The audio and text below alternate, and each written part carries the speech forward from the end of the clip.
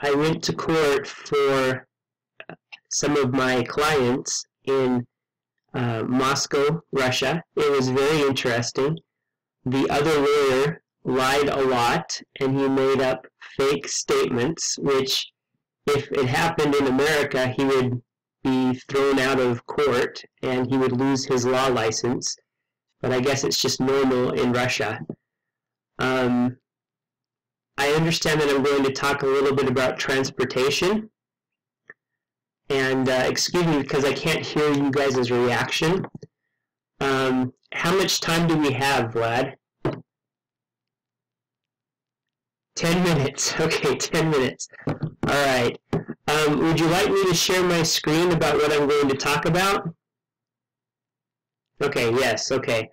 Um, first of all, I'm going to put, if, okay, I had questions. I had questions for everybody else, but I guess it's not going to work out. Okay, we'll just, we'll continue, okay? what I'm going to talk about is a very interesting subject. It's um, it's about drugs, and it's about transportation of yes, Vlad is going like this. The transportation of drugs across um, across the Mexico um, United States border. Yes. Um, let me share my screen. One moment, please.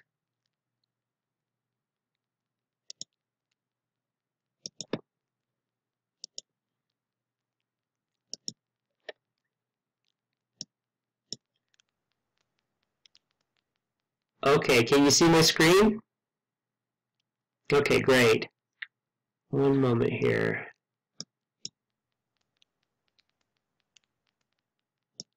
Okay, I'm going to talk about the border drug smuggling industry, what's called a blind mule. I was going to ask you all what a mule is, and a mule is a horse that um, and a donkey together, and that creates a mule. And in drug trafficking, a mule smuggles drugs. Um, they take drugs from Mexico and they bring them to America. Uh, one moment here. Get a little larger.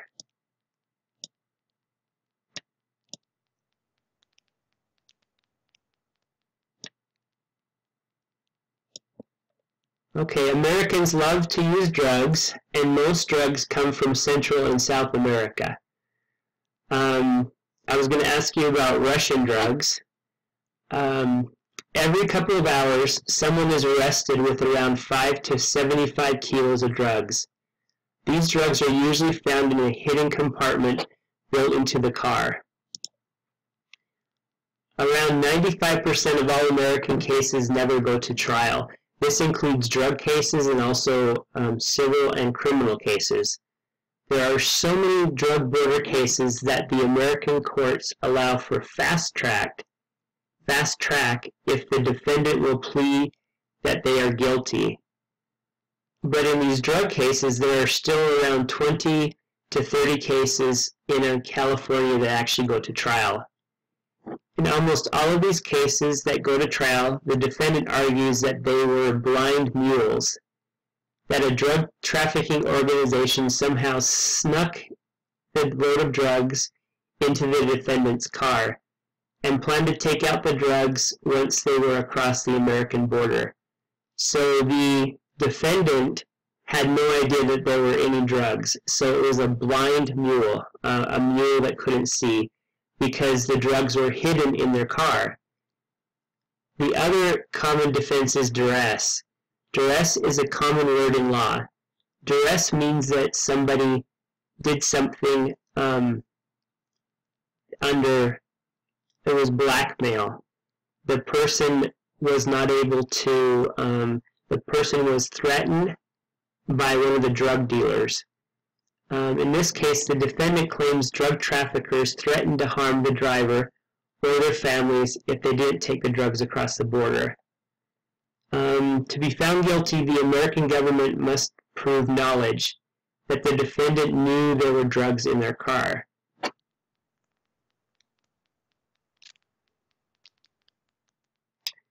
Depending on the hidden container in the car, the government attorney can argue that it would be very difficult to get the drugs out of the car without the defendant's knowledge, or that the car could be very difficult to drive without the defendant knowing the drugs were in his car. There are some examples of the American government attorney easily proving that the defendant knew there were drugs in their car. Here are three examples. Number one, the defendant was driving an SUV. An SUV is like a van. The original battery had been removed and replaced, replaced with a large battery meant for large trucks. Inside this case was a small motorcycle battery connected to the engine, and several bricks of cocaine. A car expert testified that the vehicle had to be jump-started every time it was driven. In other words, they had to have wires on the, the car battery to start the car. Because the small motorcycle battery was not strong enough to start the SUV, so clearly the person had to know that there were drugs in the car because they had to jump-start the battery every time. Um, in a second case, the defendant was driving a car with bricks of drugs stuffed into the front tires. It was a very bumpy ride once the car went faster than 20 kilometers an hour. The agent drove the car and testified about how the car felt and how bad it was to drive this car full of drugs. In the third example, the defendant was driving a car with bricks of drugs loaded into the gas tank. The tank was so full of drugs that it would only hold two gallons of gas, which an innocent person would notice. Let me jump past this here really quick.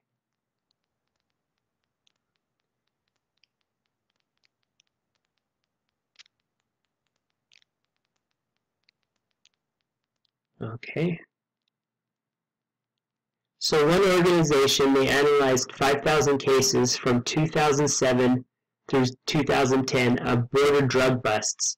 The complaints in these cases give all the details of each smuggling case, the time, place, what kind of drug, how much of the, of the drug, how it was smuggled, the citizenship of the driver, and whether the dri driver confessed. And I was going to ask the question, guess how many of these cases did the defendant win? only 1% of cases is there dismissal or acquittal. And what is acquittal? Acquittal means that they go to court and that the court finds that the person is innocent. And this only happens in 1% of the cases. Um, so one driver, most drivers, about 65%, are pretty stupid. They confess immediately um, one of the questions the agent asks is the amount the driver was paid or would have been paid. About 85% of the defendants um, tell how much they have been paid. Um, so the study that they did about 5,000 cases, um, they ask how are mules paid more for carrying loads with higher expected jail time risks. So in other words, if you are carrying marijuana over the border, um, then you will get less time in jail. But if you are carrying cocaine or heroin, you get more time in jail. Um, and so this this paper asks, this study asks all of these questions because 75% of the people knew, um, 70, 60, 65% of the people actually admitted the dr that drug use, and so they can get all these statistics from it. Um, the study answered these questions and found that the drug mules are paid more for bigger loads. The drug mules know they're, what they're carrying. Um, so drug mules with more jail time are more likely to know what drugs they're carrying when they're arrested. Um, the more risky the drugs, the more drug mules are paid. Okay. And so before this time, um, just recently, um, the the drug enforcement agencies thought most of these cases were false. Um, but recently, they have found, since 2011, um, they have found that a lot of these blind mule cases where there's actually attorneys who or there's I'm sorry, there's actually drug there's blind drug mules that they actually carry these drugs across the border without actually knowing it. These cases are actually true, and it happens quite often. Um, let me show you a picture of one. Um, for example, drugs were smuggled in the spare tire of a car. Once the on the other side of the border, the tires were quickly switched out by drug smugglers when the owner had parked the car. Car operate cartel operators, drug operation operators, unlocked the car trunks, often when the owners were asleep, and loaded them with sacks of marijuana, which they placed to remove once the car was parked. Let me show you a picture here. This is one picture of a blind drugs, drug mule. One moment.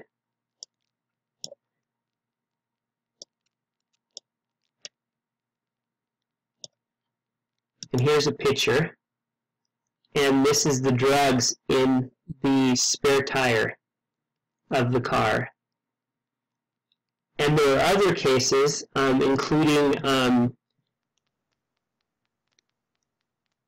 including people um, responding to fake employment jobs um, in the newspaper and then what happens is they go and they take the job, and while they're out of the car, people will put drugs in their car. Um, also very common is that drugs would attach magnets to packages of drugs and then stick them on the undercarriages on the, the bottom of the cars of unsuspecting drivers. Um, So the smuggling investigators, the government, have actually put articles in newspapers in which these drug smugglers advertise. And the, the advertisement says, warning, drug traffickers are advertising jobs for drivers to cross to the United States. Don't be a victim of the smugglers' traps. Um, and then these government agencies, they'll pay up to 30, uh, they, they will pay up to $2,000 for putting the um, the advertisement in the Spanish papers. So, Vlad, it's kind of strange because I don't hear anybody, um, but that was what I was going to talk about was drug smuggling, which I think is a very interesting transportation question. Um, did you want to ask questions or what I can do, Brad, is I'm going to send you this paper, and so if anybody wants to read about this and some of the words, and if they have any questions, let me give my email address. One moment here.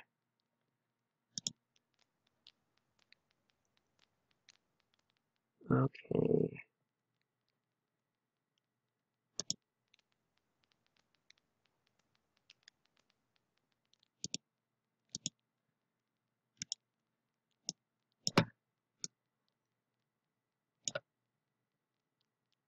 I'm sending it. Okay. Travis, yes. Mr. Bailey, Yes. is that okay? Yeah, I can hear you now. Okay? Yeah. Qu- Questions? Any questions? have- Yeah, I have now switched on the volume and the sound. Yeah, it's okay. You you can hear us. Yeah. So now, Yes. Um, there will be one two questions.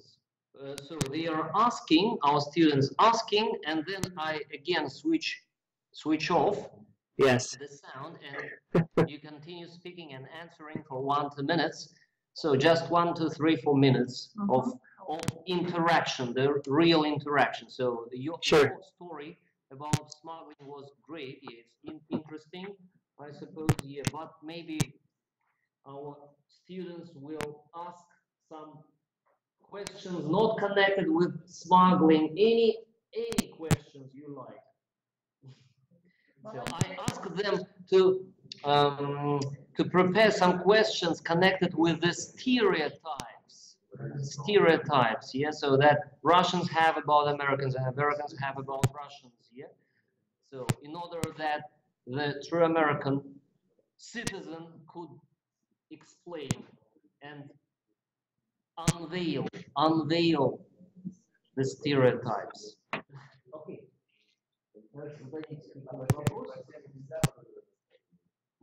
почему нет? Ну, you can. Any topic. Okay, so tell me please, you, you have uh, told uh, uh, a lot of, uh, it was very nice Stop. information, Stand up but here. what is your own attitude about this uh, information, uh, about this statistic? So, do you understand me?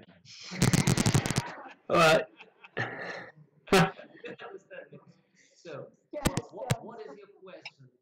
sorry, what's your name? Alexander, what, what is your question? So, you would like to clarify, uh, Travis, what he has just told us about, or about uh, his own opinion about what? About what? No, about uh, the information. About the information. Yes. Мнение об этой информации. Мнение обо, обо мнении. About the statistics. So, Travis, do you believe these statistics? Do you know any real people, smugglers, cases, or have you got only from the internet those, those things? Just a sec, just a second, just a second. Mm, just a second, so I, I'm switching off. Okay, so now here it goes. I can still hear you. Really? Yes. Oh, oh my gosh. Fine. Okay, so Can you- in, in ghosts, Travis? Can you hear me? Can you hear me? Yeah. Uh, yes. Um, it depends on which statistic. Which statistic?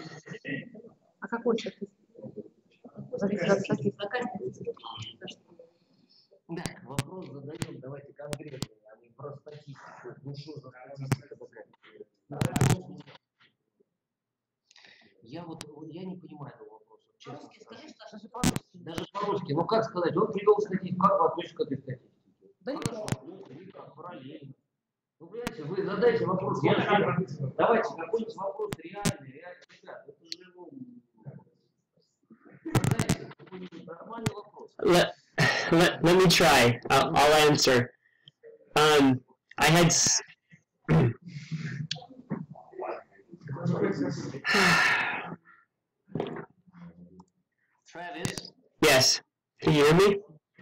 Okay. So that's not the question here. This Oh no no no no no. Let me answer. We don't understand it here. The guy has now asked, uh, what is your attitude towards your statistics here? I, I, I'm telling him that we don't understand the question here. You should be more uh, Okay. with the questions. Let me um let me answer some of the statistics. Yeah. Um, the big statistic that I had is that in 94% of all ca- state cases, there is, um, they never go to trial. That means that somebody pleads out, which means that they say they're guilty. That happens in 94% of all state cases. In What, what, happens, sorry, in 90% of all cases? they, it's called they plead out. Plead out. What does it mean? That means that they um, s- they get a deal with the uh, pl- the the plaintiff, the prosecutor, Okay. and they never go to court Ага, окей. То есть in America. истцом решают проблему в 90 случаях и никогда дела не отправляются в суд. 90%. Бабусы, бабусы. In 94%. Hmm? Something like bribes.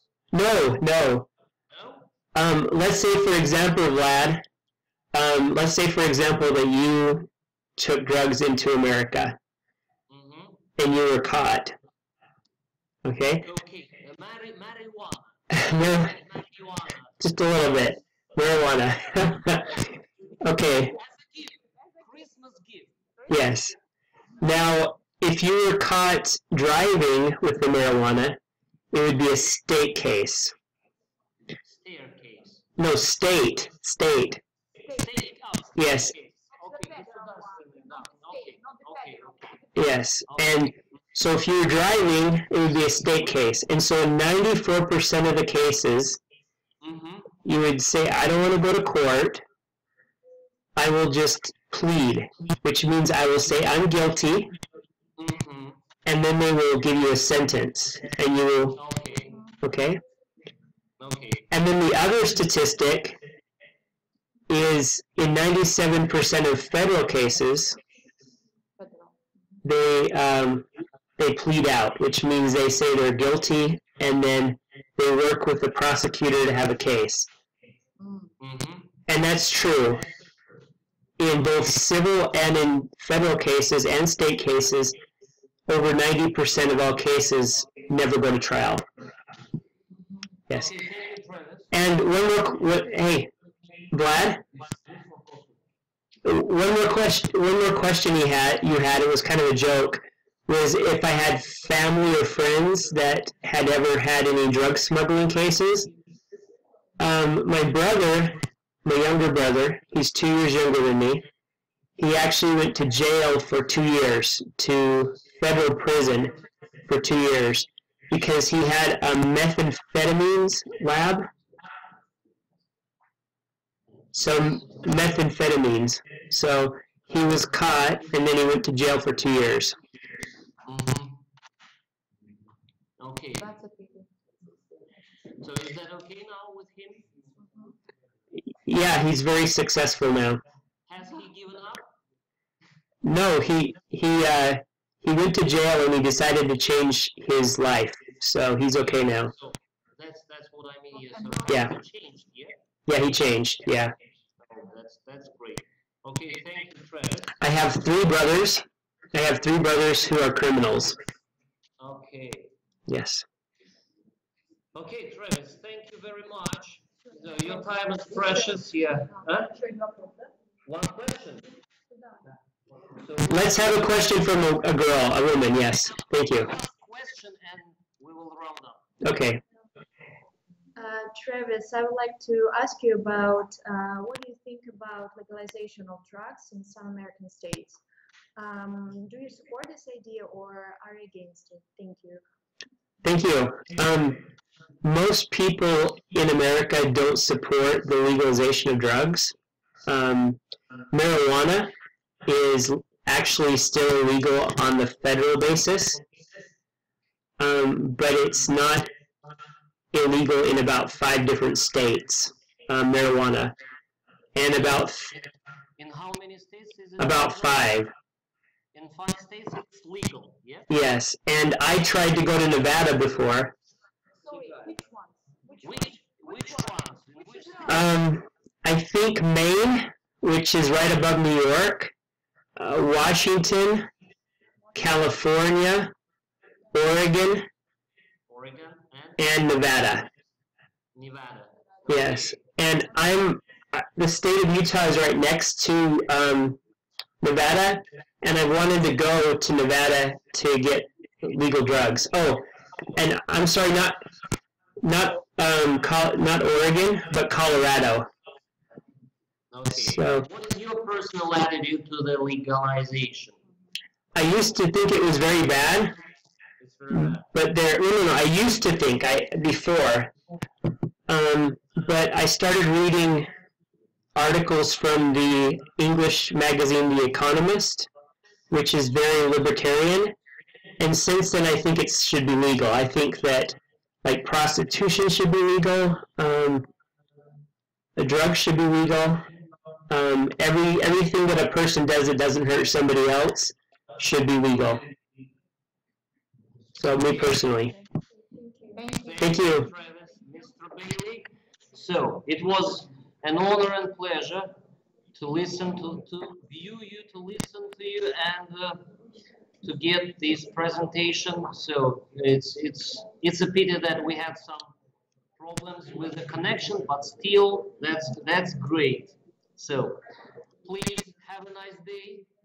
Yes, I'm going back to sleep. We will continue. Yeah. Okay. Okay. So It's- thank you. Thank you. Спасибо. Счастливо. Удачный.